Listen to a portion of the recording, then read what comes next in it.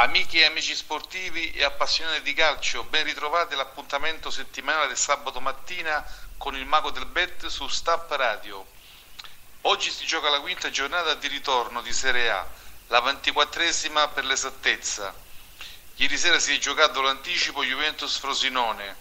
Eh, la partita è terminata con un secco 3-0 per la Juventus, ma prima di vedere in dettaglio le rimanenti partite di oggi, e domani leggiamo insieme la classifica generale di Serie A, aggiornata